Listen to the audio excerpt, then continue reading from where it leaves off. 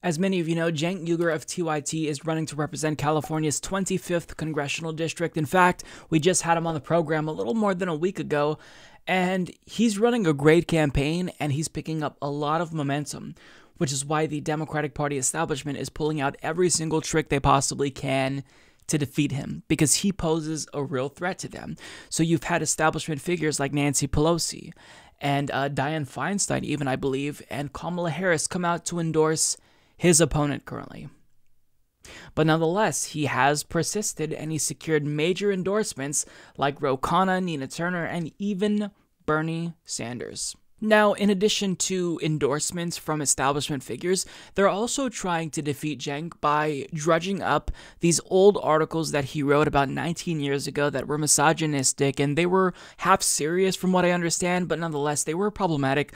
Now, the good news is that I believe in forgiveness if someone actually changes and apologizes.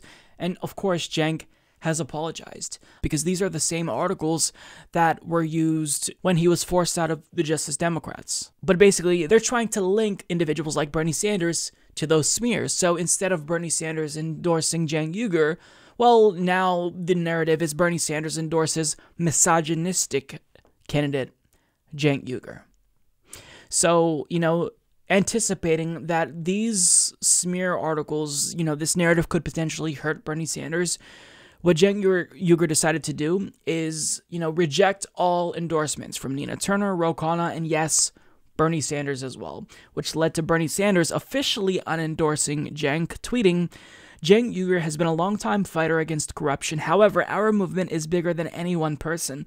I hear my supporters who are frustrated and I understand their concerns. Cenk today said he is rejecting all endorsements for his campaign and I retract my endorsement. Now, there's so much to say about this. First of all, I don't know if really was Cenk who, on his own accord, decided to reject all of these endorsements. Maybe Bernie Sanders was already going to unendorse Cenk. I'm not sure what the situation is, although I will link to a video by Kyle Kulinski who speculates about this situation using the experience that, you know, dealing with Justice Democrats and that dilemma, having their staff basically forcing Cenk Uygur out after the alt right digged up the same old articles that corporate media is now using to smear Cenk.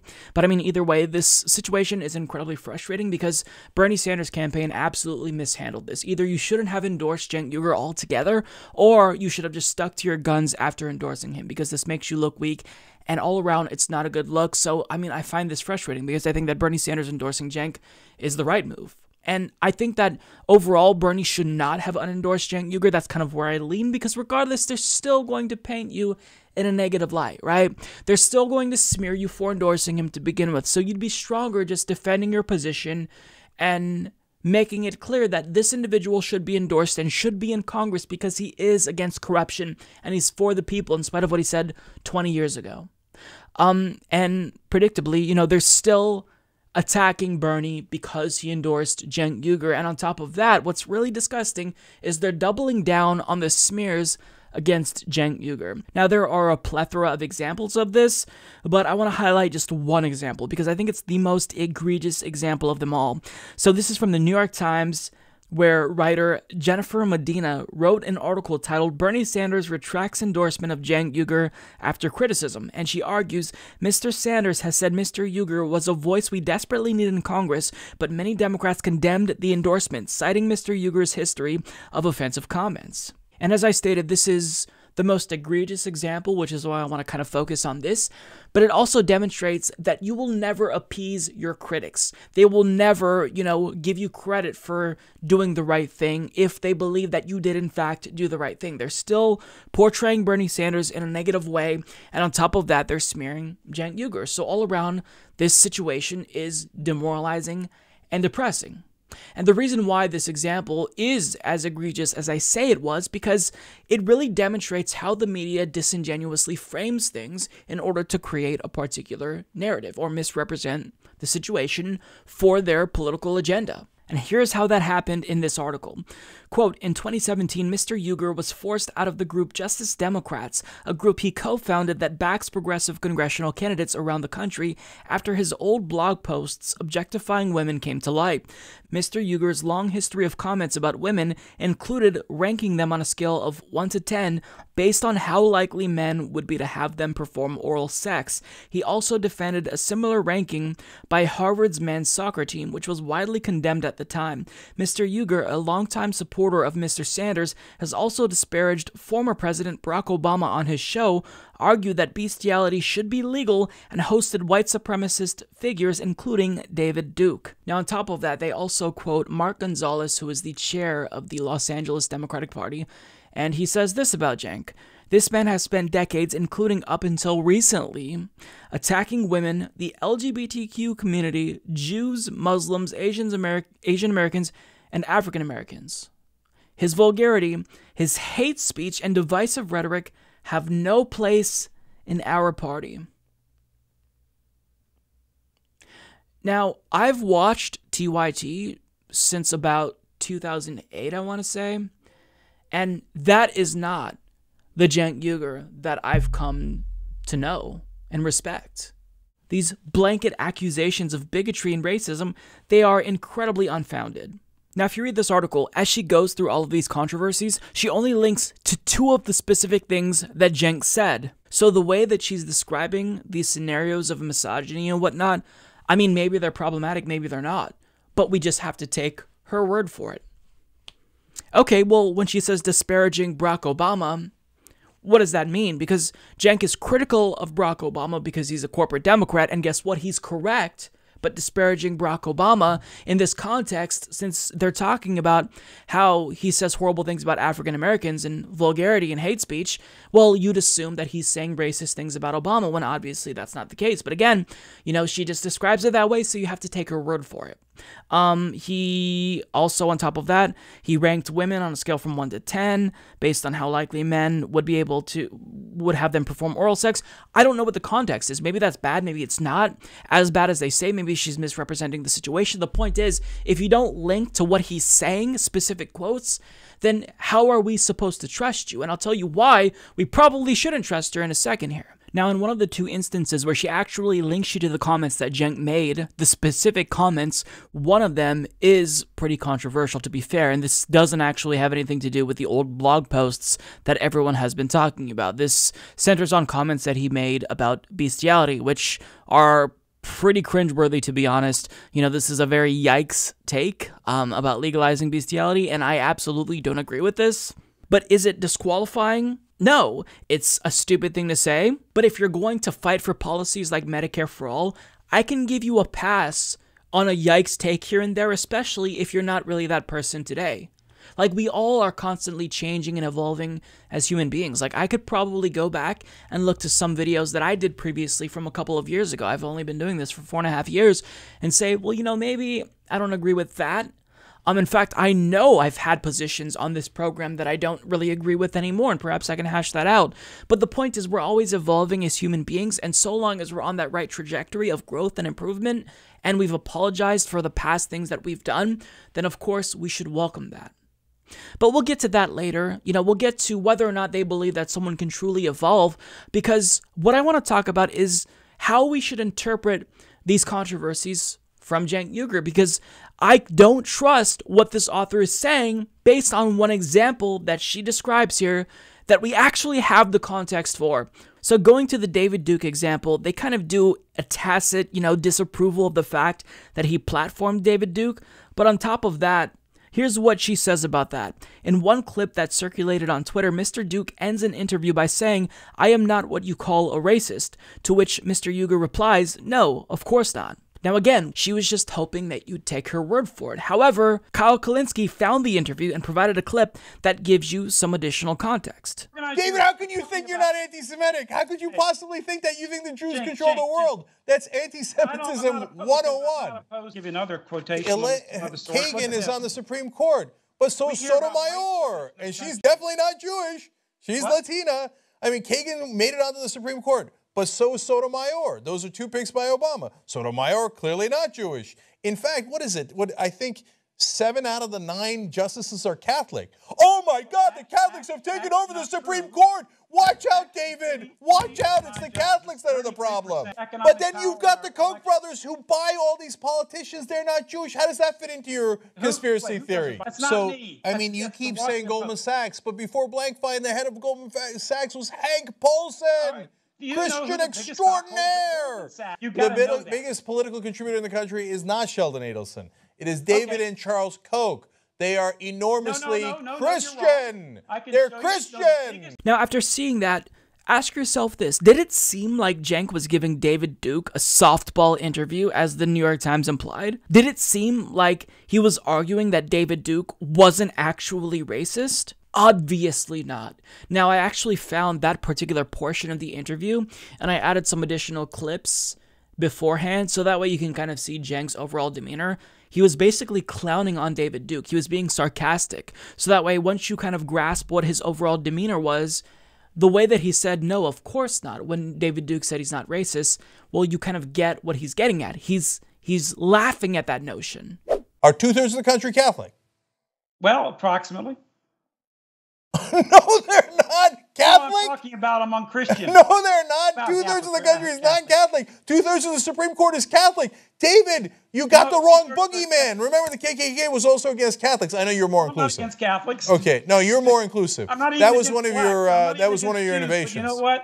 I'm for opportunity in this country, and I, I'm against real racism and the ultimate racist uh, apparatus that's going on in this country is Jewish racism. And that's why I'll give an example this way.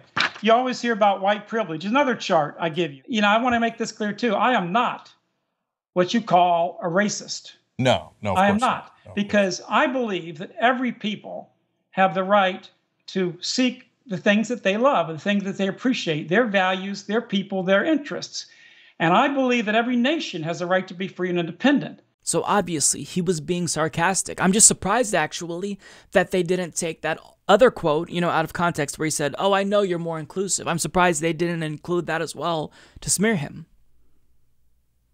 It's just, it's unbelievable. It's unbelievable.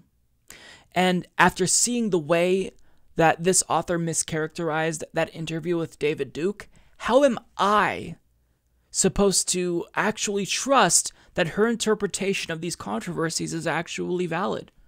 We can't. You see, the Young Turks has hundreds of thousands of hours of content on their website, on YouTube. So they know that you're not going to take the time to dig through and find that specific clip where they were rating women. Maybe it was controversial, maybe it was problematic and misogynistic.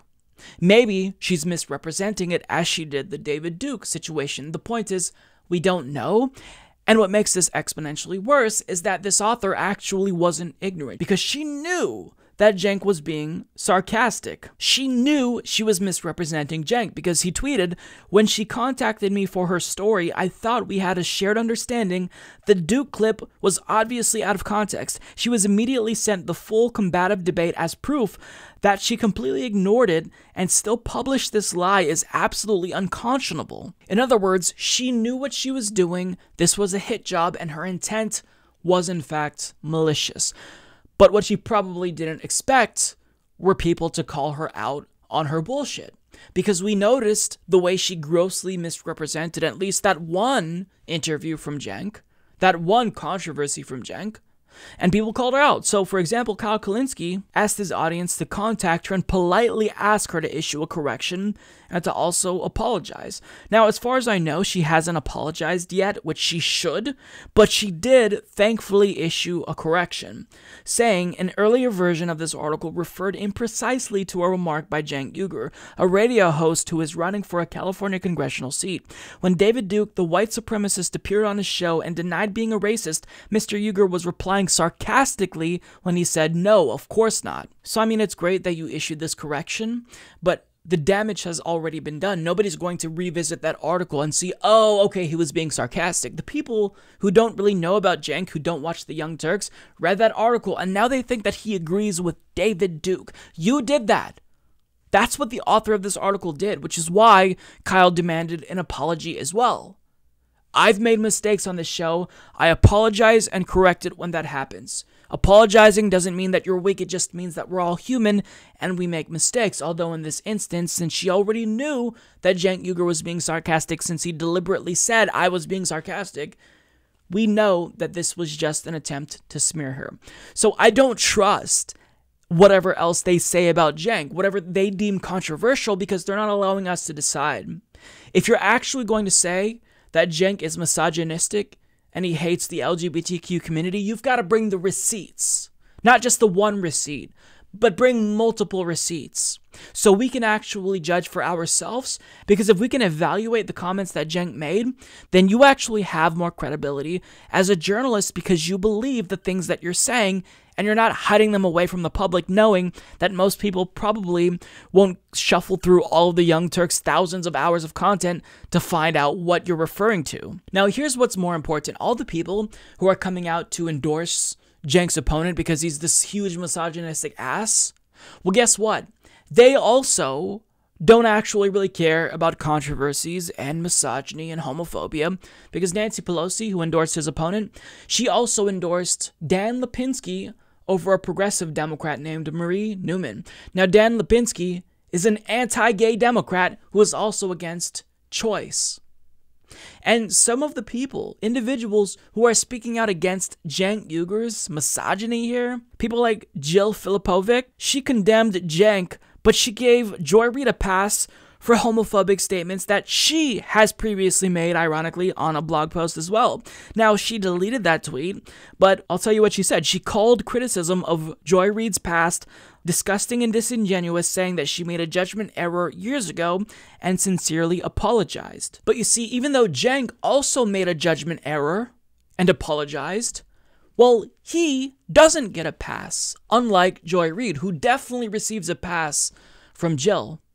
It's almost like the controversies don't matter and they will excuse people that they like, but not give a pass to people who they don't like who is against their own political agenda. Interesting how that works, right?